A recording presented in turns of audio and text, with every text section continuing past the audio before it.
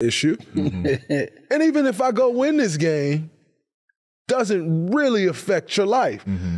And so to worry about what I do outside of that, you probably should save yourself the time and invest it elsewhere.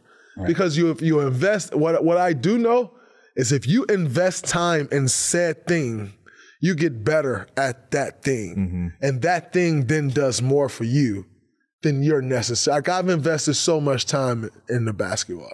Basketball now does more for me than I do for the game of basketball. Mm-hmm. So if you can invest your time in said thing, you can possibly be great at something. So you probably shouldn't invest your time in wondering about our relationship.